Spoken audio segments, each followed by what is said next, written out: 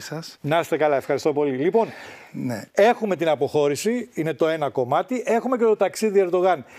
Είναι γνωστά, Νέο παιχνίδι τουρκικό, γιατί οι Τούρκοι τους αρέσει αυτό το παιχνίδι, το, το είναι γνωστά διπλωματικό. τα διπλωματικά τρικ του Τούρκου Προέδρου.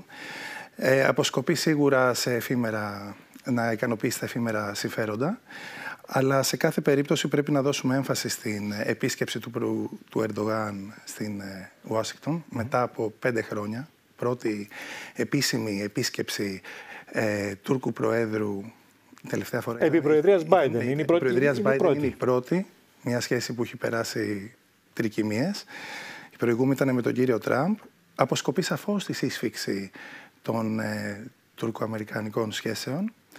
Ε, η, η ατζέντα, σίγου- στην ατζέντα σίγουρα θα τεθεί το θέμα των F-16, θα τεθεί σίγουρα το θέμα των Κούρδων της Βόρειας Συρίας, οι οποίοι είναι σύμμαχοι των ΗΠΑ, πολέμησαν το Ισλαμικό κράτος, έχουν χρηματοδοτηθεί από την ΙΣΥΠΑ, από την άλλη θεωρούνται τρομοκράτες από την Τουρκία. Και ένα πολύ βασικό θέμα που θεωρώ ότι θα μπει στην ατζέντα είναι το θέμα της Ρωσίας. Ε, διακινούνται αγαθά από την Τουρκία στη Ρωσία. Και οι ΙΠΑ θεωρούν ότι αυτά τα αγαθά ε, χρησιμοποιούνται ως ε, μέσον για τον πόλεμο στην, με την Ουκρανία.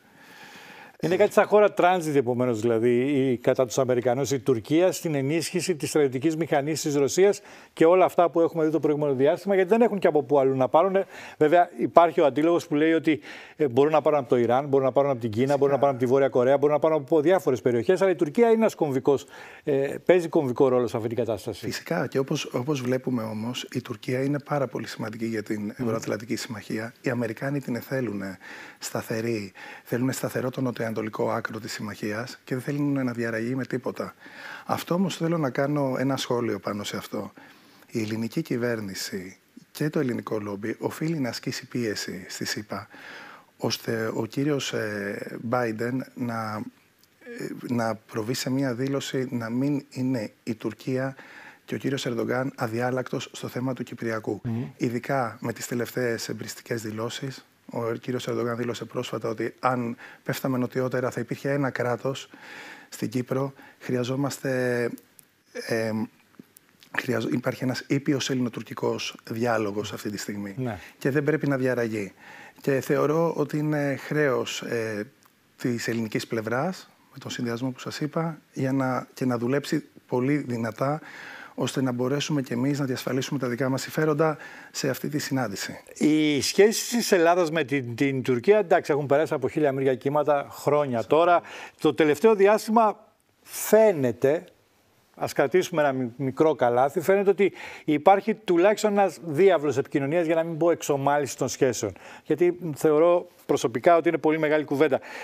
Οι καλές σχέσεις της Ελλάδας με την Τουρκία περνάνε από μια ευρύτερη γκάμα περνάνε από τις σχέσεις που, υπά- που υπάρχουν στο Ισραήλ, από αυτά που γίνονται στην Αίγυπτο, από την υπόθεση του τουρκολιβικού ε, μνημονίου. Θέλω να πω δηλαδή ότι δεν είναι μόνο ο άξονας Αθήνα-Άγκυρα, αλλά είναι και οι γύρω-γύρω παίχτες που μπορεί να επηρεάσουν τις σχέσεις των δύο χωρών. Υπάρχει ένα παιχνίδι εδώ. Θα, θα τα πάρουμε όλα με τη, Με τη σειρά. Με τη σειρά. σειρά. Ε, η Τουρκία α, αυ- αυτή τη στιγμή και όπως μας έχει δείξει και η ιστορία στις ελληνοτουρκικές σχέσεις, οι θέσεις της Τουρκίας είναι αδιάλακτες και θα παραμείνουν στο αιγαιο και στην Νοτιοανατολική Μεσόγειο. Αυτή τη στιγμή βέβαια ο, η ήπια ε, προσέγγιση είναι θετική. Ο διάλογος είναι θεμητός. Αλλά ε, γίνεται και με κάποιο σκοπό. Η Τουρκία αυτή τη στιγμή πέτυχε με αυτή την ήπια πολιτική να κερδίσει τα F-16, να κερδίσει αυτή την, α, την αγορά των F-16 από την Αμερική, που μέχρι προ λίγο μηνών φάνταζε αδύνατη. Ε, τώρα, αυτή τη στιγμή, έχουμε εξελίξει στην Τουρκία. Η, τα αποτελέσματα των δημοτικών εκλογών, η σαρωτική ήττα του Ερντογάν σε 8 από τις 10 μεγάλες πόλεις, που ίσως οφείλεται, όχι ίσως, οφείλεται στην μεγάλη αύξηση του πληθωρισμού σε τριψήφιο αριθμό. Ναι, στην οικονομία η οποία παραπέζει. Η τουρκική οικονομία δεν είναι καθόλου στα καλά της. Είναι απλά τα πράγματα. Με Ναι. δανεισμό από με μικρά επιτόκια. Ο κύριος Ερντογάν άδειασε τα ταμεία για να επανεκλεγεί πρωθυπουργός και πρόεδρος της Τουρκίας. Πρόεδρος της Τουρκίας. ναι. Και έφερε σε οικονομική δυσχέρεια τον τουρκικό λαό. Και αυτή τη στιγμή εφαρμόζει μέτρα λιτότητας για να μην φωνάξει το δούνο του. Ε, το βλέπετε κι εσείς πιθανό επομένως ότι μπορεί να υπάρξει δεύτερος κύκλος με το ΔΝΤ με το Διεθνές Νομισματικό Ταμείο. Να θυμίσω ότι ο Ερντογάν ναι. όταν βγήκε ήταν το ΔΝΤ στην Τουρκία και απλώς με τις δικές του πολιτικές έφυγε το. Και την έκανε και 16η οικονομία. Ακριβώς. Είναι, είναι στους G20 η Τουρκία. Αυτά είναι η ικανότητα του Τούρκου Προέδρου. Ναι. Αλλά ωστόσο, αυτή τη στιγμή, ε, με δεδομένο ότι ο κύριος Ιμάμογλου φαίνεται ένας πολύ άξιος και δύσκολος αντίπαλος για τον Ερντογάν, ναι. ενδεχομένως στις επόμενες προεδρικές εκλογές, είναι μονόδρομος για την Τουρκία να οξύνει τη σχέση της με την ε, Ελλάδα. Αλλά όχι τώρα. Υπάρχει ένα παραθυράκι η Τουρκία θα περιμένει το αποτέλεσμα των Αμερικανικών εκλογών για να δει πώς θα ξεδιπλώσει τη στρατηγική της. Και εδώ είναι το σημείο που η Ελλάδα πρέπει να είναι αποφασιστική χωρίς αναβολές και να προσπαθήσει να εξασφαλίσει όσο δυνατόν καλύτερα τα συμφέροντά της. Ναι, και θα παίξει ρόλο η παραμονή Biden ή η αλλαγή Τραμπ νομίζετε στις σχέσεις και τις ελληνοτουρκικές; Θα επηρεαστεί αυτή η ενδεχόμενη αλλαγή; Κοιτάξτε να δείτε, υπάρχει η φιλία Τραμπ ε, Ερντογάν. Αλλά σε κάθε περίπτωση ένα σοβαρό ελληνικό κράτος δεν έχει να φοβηθεί κάτι. Αρκεί να είναι αποφασιστικό και να διεκδικεί με βάση το διεθνές δίκαιο και αυτό που δικαιούται τα εθνικά του συμφέροντα. η Ελλάδα αυτή τη στιγμή συμμετέχει στην πολυεθνική, εξοεδαφική, αμυντική επιχείρηση Ευρωπαϊκής Ένωσης Ασπίδες, στον κόλπο του Άντεν. Είναι μια πάρα πολύ σωστή θέση την αναβαθμίζει πάρα πολύ γεωστρατηγικά και γεωπολιτικά. Ε, εξασφαλίζει το, το, το, παγκόσμιο εμπόριο, παράλληλα όμως διαφυλάτει και τα εθνικά της συμφέροντα. Είναι μια καλή αρχή αυτή, κύριε Γαλέζη. Ε, πρέπει να υπάρχει, να είναι η Ελλάδα στα διεθνή φόρα, να δίνει στις διεθνείς συνθήκες, πρέπει να, να μετέχει. Αυτό είναι δεδομένο, δεν το συζητάμε, προφανώς. Προφυλάκτη το λιμάνι του Πειραιά που είναι η κύρια πύλη εισόδου από την Ασία για τα εμπορεύματα. Ξέρετε, τυχόν ε, κλείσιμο της ε, διόρυγας του Ζουέζ ε, καθυστερεί κατά 12 με 15 μέρες τα εμπορεύματα. Αυτό σημαίνει ε, οικονομική επιβάρυνση και στην Ευρώπη και στην Ελλάδα. Οπότε η συμμετοχή της Ήδρας είναι πάρα πολύ σημαντική. Αλλά, να πούμε το σημαντικότερο, η Ελλάδα πρέπει να προστατεύσει και υπόλοιπα, τα υπόλοιπα κράτη την Αίγυπτο. ναι, για να έρθουμε τώρα στο κεφάλαιο Αίγυπτος, γιατί είχαμε πριν από λίγο καιρό την ε, επίσκεψη κεφαλών της Ευρωπαϊκής Ένωσης. Ήτανε, πήγε εκεί ο Μισελ, πήγε η Πρωθυπουργός της Ιταλίας η Μελώνη, ήταν εκεί και ο Έλληνας Πρωθυπουργός ο κύριος Μητσοτάκης. Η στήριξη στο ΣΥΣΥ. Όπου ΣΥΣΥ κοσμικό κράτος στην, στην Αίγυπτο. Κάτι και αντίστοιχο με, τους, με τους κεμαλιστές στην Τουρκία. Η, αλλά είχε προλάβει ο Ερντογάν. Μήπως εδώ υπάρχει ένα παιχνίδι, ποιος προλάβει ποιον να, να ενισχύσει το ΣΥΣ, γιατί ο Ερντογάν δεν τα είχε καλά με το, με το ΣΥΣ. Ξαφνικά τον ακουμπάει πάλι. Ο Ερντογάν έχει την ιδιότητα του Ιγκουάνα. Αλλάζει χρώματα ανάλογα με την περίσταση. Και νομίζω αυτό το ξέρει και ο πρόεδρος Σίση και το ξέρει και ο κόσμος. Η Ελλάδα είναι σταθερή, έχει αρχές διεθνούς δικαίου και είναι υπέρ του σωστού. Και θεωρώ ότι είμαστε ένας σοβαρός σύμμαχος. Αλλά τι ήθελα να σας πω. Αυτή τη στιγμή η Αίγυπτος πλήττεται πάρα πάρα πολύ από τον πόλεμο στη Γάζα.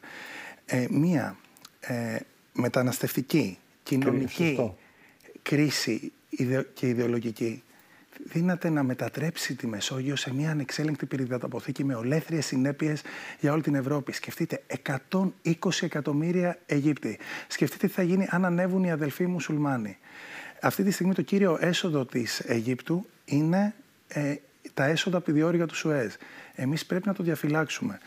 Και εκτός από την γενικά τη σφαιρική υποστήριξη που πρέπει να έχει ναι. η Αίγυπτος, είναι μια μεγάλη ευκαιρία να ενδυναμώσουμε τις σχέσεις μας, τις διμερείς σχέσεις μας, να κάνουμε μια στρατηγική συμφωνία. Πώς είχαμε τη στρατηγική συμφωνία με τη Γαλλία; Οι στρατηγικές συμφωνίες είναι όταν υπάρχει αμυντική συνδρομή. Αυτές είναι οι αληθινές συμφωνίες. Ναι. Και επιπλέον, μιλάμε όλοι για οριοθέτηση Ελλάδας-Αιγύπτου υπάρχει μερική οριοθέτηση. Αυτό δεν Εννοείται την ΑΟΣ, έτσι, να Βεβαίως. Πρέπει να ολοκληρωθεί. Είμαστε δύο σοβαρά κράτη που δεχόμαστε το δίκαιο της θάλασσας. Πρέπει να ολοκληρωθεί διότι η Ελλάδα έχει δικαιώματα στην Ανατολική Μεσόγειο, έχει ελληνικά κυριαρχικά δικαιώματα, τα οποία αυτή τη στιγμή δεν αποτυπώνονται κάπου. Η, η Τουρκία μέσω της γαλάζιας πατρίδας έχει καταθέσει ενταγμένε από το 2020, επικαλούμενη το παράνομο τουρκολιβικό μνημόνιο, σε μια περιοχή που αγνοεί τελείως τα θαλάσσια κυριαρχικά δικαιώματα στα νησιωτικά εδάφη της Ελλάδας. Πιστεύετε ότι έχουμε καθυστερήσει σε αυτές την οριοθέτηση μιας ΑΟΣ ε, επικυρωμένης με την πλευρά της Αιγύπτου; Θεωρώ ότι έγινε η μερική οριοθέτηση. Κυρίως νομίζω ότι αυτή η συμφωνία ήταν προς το συμφέρον της Αιγύπτου, βέβαια και της Ελλάδας, ναι. όπως έγινε η κατάσταση με το τουρκολιβικό μνημόνιο, γιατί έφυγε κάποια εδάφη της Αιγύπτου το τουρκολιβικό μνημόνιο. Αλλά το κύριο κομμάτι που δίνει δικαιώματα στην Ελλάδα είναι η Νοτιοανατολική Μεσόγειος. Το Καστελόριζο. Που το Καστελόριζο μου κάνει μεγάλη εντύπωση που δεν αναφέρεται πουθενά και υπάρχει μια ελλειπής ενημέρωση. Θεωρώ και ακούω ότι λέμε για το Καστελόριζο ότι είναι ένα μικρό νησάκι στην εσχατιά της Ελλάδας. Είναι ένα μεγάλο λάθος που απέναντί του έχει τις τουρκικές πελώριες ακτές. Οπότε είναι υποτίθεται στη λάθος πλευρά της οριοθετικής γραμμής. Αυτό είναι μια μεγάλη προπαγάνδα των Τούρκων και πρέπει να ξεκαθαρίσουμε ότι πρόκειται για ένα σύμπλεγμα 13 νησιών, νησίδων, βραχονησίδων, το οποίο αποτελεί συνέχεια από τις εκβολές του Εύρου έως το, έως το Καστελόριζο, τα νησιωτικά εδάφη της Ελλάδας αποτελούν το, σχεδόν το 1 τρίτο της ε, Ελλάδας, είναι άρτια συντεταγμένα και είναι σε πλήρη ε, παραλληλισμό με την υπηρετική Ελλάδα, το Καστελόριζο ανήκει, γεωγρα... ανήκει διοικητικά στα Δωδεκάνησα και απέχει 62 ναυτικά μίλια από την ε, νήσο, η νήσος Ρο από τη Ρόδο. Κάτι που επιβεβαιώνεται από τα Ιταλοτουρκικά πρακτικά του 32 ναι. και μετά... Γι' αυτό και υπάρχει όλη αυτή η αμφισβήτηση ναι. από την πλευρά της, της ε, Τουρκίας. Η, η, Τουρκία, ξέρετε, θέλει αποσπασ... αποσπασματική οριοθέτηση. Θέλει να ξεχωρίσουμε την Νοτιοανατολική Μεσόγειο από το Αιγαίο. Αυτό είναι μεγάλο λάθος. Καλά, δεν νομίζω ότι θα γίνει αποδεκτό από καμία ελληνική πλευρά, ναι. από κυβέρνηση, γιατί υπάρχουν τα εθνικά συμφέροντα τα οποία είναι πάνω απ' όλα. Δεν το συζητούμε αυτό. Υπάρχει και ένα εδαφικό τόξο Κρήτης, ε, Κάσου, ε, Καρπάθου, Ρόδου, Καστελόριζου, το οποίο οι νότιες και ανατολικές ακτές δίνουν, όπως απορρέει και από το Διεθνές Δίκαιο, δικαιώματα για την Ελλάδα να οριοθετήσει οικονομικές ζώνες. Γνωρίζετε πολύ καλά από ό,τι αντιλαμβάνομαι τα, τα τουρκικά πράγματα και τις σχέσεις βεβαίως Ελλάδα-Τουρκία. Θέλω να επανέλθω σε αυτό που, που λέγαμε πριν από λίγο, ε, στο θέμα Ημάμογλου. Ναι. Εκτιμάτε ότι ενδεχόμενη αλλαγή δεν θα γίνει αύριο, το θεωρούμε δεδομένο ότι δεν θα γίνει αύριο αυτό, γιατί ο Ερντογάν, ο Ερντογάν όπως ήρθε εύκολα, δύσκολα, έτσι και δύσκολα θα φύγει. Δεν θα φύγει αύριο. Αλλαγή πολιτικού σκηνικού στην Τουρκία θα ήταν προς το καλό μας ή προς το κακό μας; Και βλέπετε κιόλας και τα τρικ που γίνονται κάθε φορά πριν τις προεδρικές Δεν το συζητούμε αυτό ξαφνικά δυνατοί υποψήφοι δεν έχουν δικαίωμα για λόγους που ο κύριος Ερδογάν ανακαλύπτει. Ναι, δεν επιθυμεί Σουλτάνος, απλά πράγματα είναι. κατά κάποιο τρόπο έτσι. Ναι. Λοιπόν, θα σας πω κάτι.